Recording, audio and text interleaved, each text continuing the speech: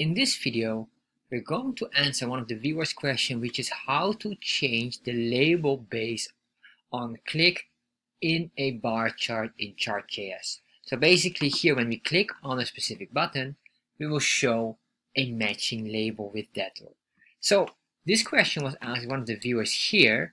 So on this video here about the Chart.js bar chart, where I show you how to create a new bar chart structure, basically that's being used more often in uh, documentation. Here, if you scroll down, you can see the question has been asked by Ashish Pandey. So first of all, special thank you for Ashish Pandey for, for, for asking the question. And this is what he says. Currently, I'm working with Chart.js and creating bar chart. How to set dynamic label name because I have one bar chart but data updated based on click. I need to show on label name dynamically, or sorry, on the, on the label name dynamically based on click. So, in short, he has multiple data apparently, and then when you click on it, you want to show the matching ones with the matching labels. So probably he already have one part working. So let me show you exactly what I'm going to do. I'm going to create then a fictional bar chart. What we can do here is just the basics. Let's go back here on Chart.js, Chart.js.org. We're going to create a standard bar chart with some fictional data in there. And then after we're going to show dynamic values as well, plus the dynamic label. So I'm going to grab this code here by pressing on this button. And here I want to adjust this. I'm going to adjust this into the new way that I'm using consistently. And uh, once I have that one, I just click here on getting started. I just get this as well. And then here, I'll just paste this here below. and I'm going to put this in a proper indentation. Uh, yes, alright, and then here div, and this will be a class. This will be a chart box. We're going to set the width to avoid it to scale into a larger size or infinity usually. So we say yes style. Then we say here chart box and I want to make sure here this is a dot because it's the class width of 700 pixels. So once we do this, we have a fixed width here. We should have this chart running now. And you can see right now my setup has been adjusted. I'm using now the local host here because I'm preparing now for the database structurings that one of the series that I'm working on as well. So we have this here now we have all of this here and we have now our bar chart. And what I want to do here is the following. I'm going to create some fictional data. Let's say this would be our revenue. Revenue. And in here this would be the revenue. That would be fine. And then I'm going to put in here well let's I'll just grab a color here. That would be the blue color. That would be fine. I'm going to remove all of these. And I'm going to assume the following basically it's this. That's what I'm going to do. You have another data which is for example our cost and profit. Because I assume that that would be the case and this is the reason why uh, the question was how to change the labels is probably to to start to grab the matching values. So I'm going to just delete all of the items including the brackets because we don't have an array here. I just want this to be a consistent color of blue for example. Alright and then what I want to do is here because we're talking about the label and the label is this here labels match with this here the revenue or basically with the legend sorry this is the legend. So imagine the following. We have this but now we want to change this. I'm going to create here now uh, or before I create this I want to set this up into the the the correct structure that is now being used. And this is really important. I want to continue on with this structure because the documentation is moving towards that. And understanding this way of looking at uh, the chart is very big benefit for you. So this is there are basically three blocks: setup. We have here the config, and we have here the render block. All right. So basically in here, all I will do is just get the data part, just specifically this here. Then we'll just cut this out, and we say here the uh, constant data equals. Let me put in here this, and we just put that in here and then we say here semicolon all right next one will be and if you want to know really deeper what we're doing here I have the other videos that I showed you before the the basic video here covering how to make a bar chart that is the one that we're basically using here so I will just go quickly through this because I assume you should know this or you should have at least the foundation. If you don't follow along here, if you want to know really deeper, check this video out. This chart.js bar chart. It's very simple and it covers how to do it the new way. So then we have this and here we have basically the structure of this. Alright. Grab that, put it in here. This will be removed and comma only here. That's fine. Alright, I just put it this. Alright. Got this now all. I guess here the indentation doesn't work correctly here, but that's alright. So, alright, so I just assume this will be it. That's more than enough. I will not make it too much, too fancy. Just get it done. Alright, here, final constant, my chart. Why my chart? Because my chart here is the ID name. So we say here my chart equals, and then we say here new, we're going to create a new object, and the object name is chart. So, uh, so here's and then semicolon, and in here, basically we have this part here. You get this, comma, config. Alright, no need to comma there. Now we're done here. Let's save this. We have now everything. Let's go back here, refresh. Alright, everything works fine. So now what I want to do is I want to get this data set here as well. We're going to create a new function here, and this function will basically cover certain data sets. Alright, so what we're going to do here is I'm going to create three buttons, and these three buttons, one would be for revenue, other will be for sales or profit, and the other one is for the cost. So create a button here, and in here we'll say this one will be what we can do is I'll just make three buttons. Alright then in here we can say the following. We say here on click. We're going to make a function that the moment we click on it and then we say here on click this will say uh, update label update label and in here what will be the label we can put in here the value so I assume it probably will get from some database or PHP. So what I'm going to do is I'm going to put in just some very basic PHP on this and I in the future I will cover this more and more deeper. But for now this would be more than sufficient. So we say here variable, we say here um, we can say here label one equals profit.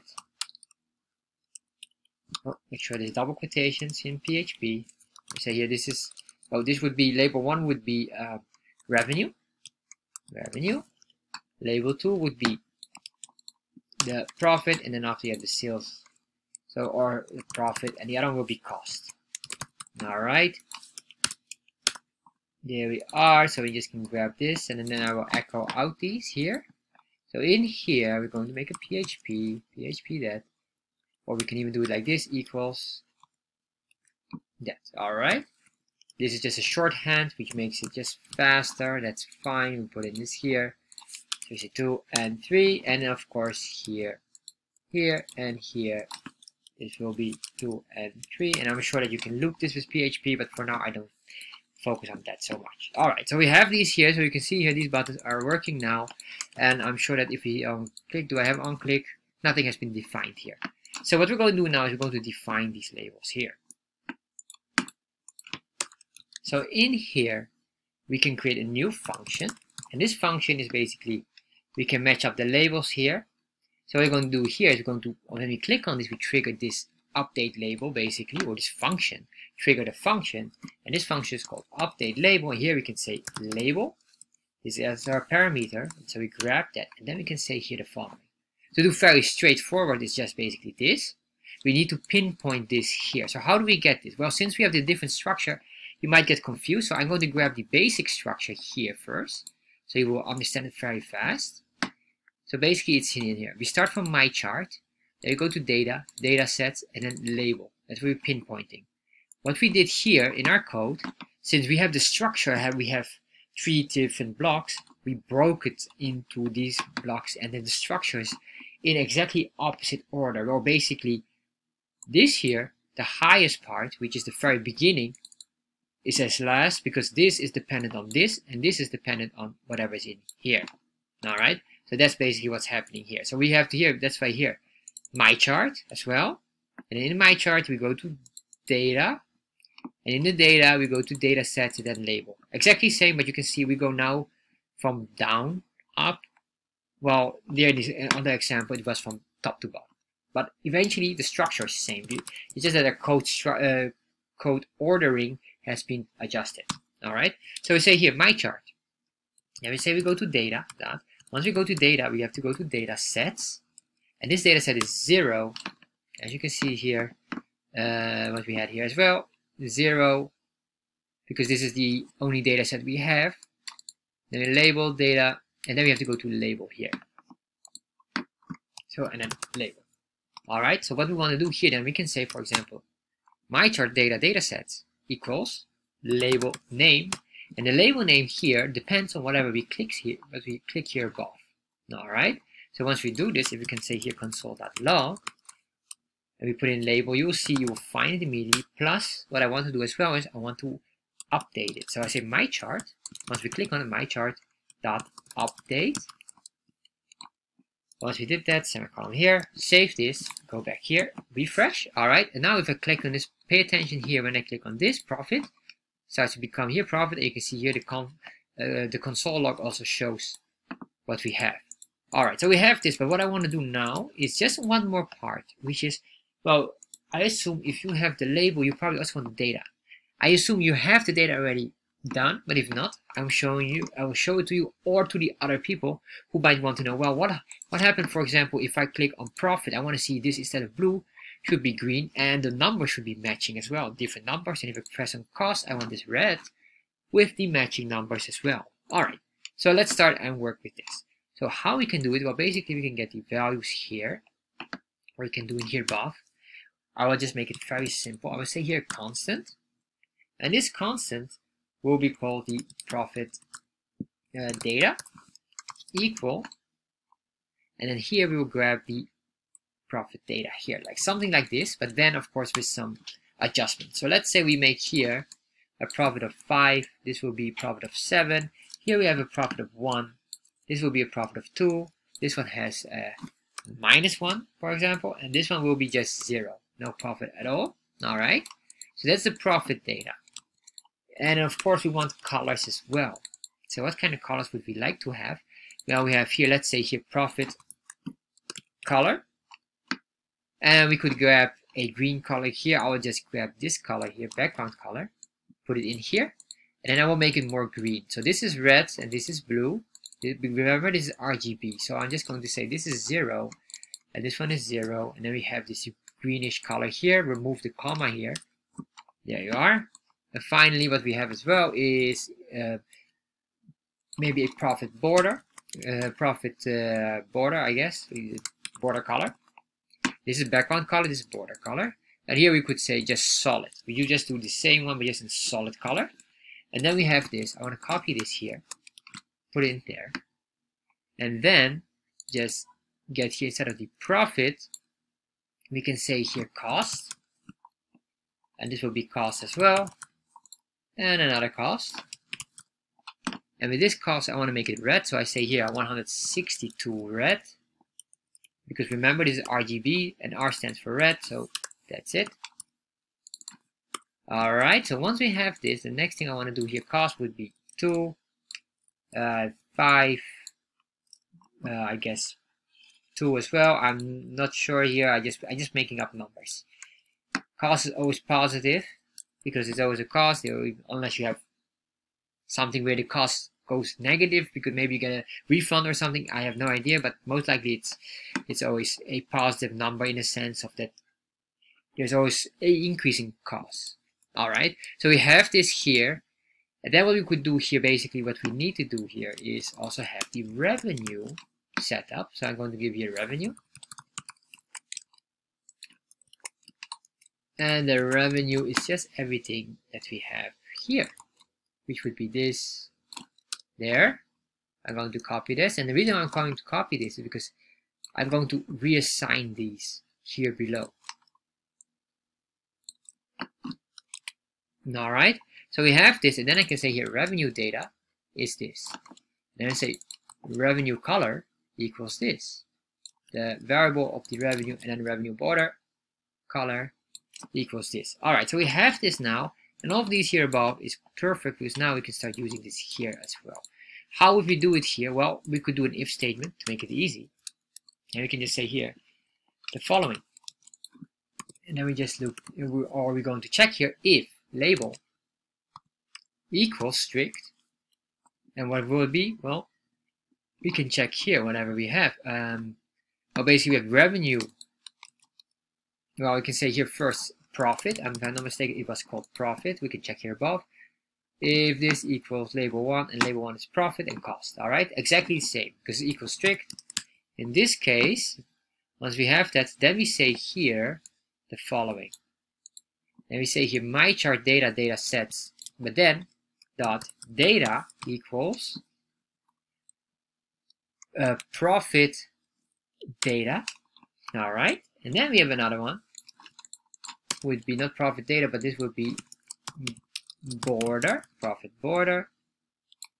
And of course, we need to adjust this here as well. This would be color. I guess this is about color. Then we say here data. This will be background color with capital letter C. This will be um, border color with capital letter C as well. You can see here this is the one we need. All right. So basically here we create an if statement. If this is true, in this case, show this. If this is something else, so what we're going to do is here, you can say cost, and I'm going this here. I don't do an if else. If you use if, it's easier to read than if you would use an if else consistently. So this is the reason why if is a better way to do it. But of course here maybe you have items, we could maybe do a for loop here or etc etc. But we have to see it. But this is probably the most easiest way for now let me say here cost cost and then here another cost. And then finally here we go back to normal is the revenue. Uh, revenue. All right that's the one. Then we say here revenue. I'm to copy this this and that. All right so now I can remove this here. If I save this now what will happen is it will first of all we create an if statement or we create this. We will assign the label and then we figure out what is the label name. If it's this, give me the colors. If it's this, give me the cost related colors, so basically everything with the cost related. And uh, if we click revenue, it go back to revenue. So if I save this now and refresh, oh, uh, cost data has already been declared. So let me double check what I uh, did.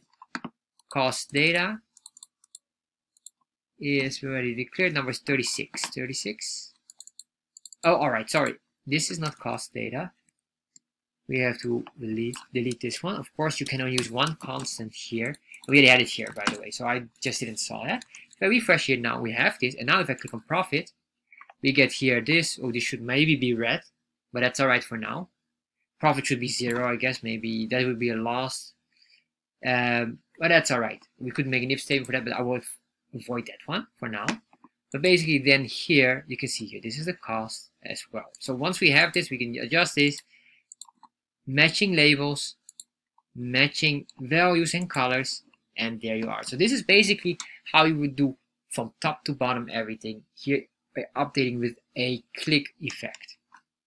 Thank you for watching this video and I hope you enjoy it. And if you enjoy this video, you probably will enjoy this one as well. And if you're interested in Chart.js, check out in the description box the link directing to my Chart.js course where you can learn everything about Chart.js. And finally, of course, make sure you subscribe to my channel.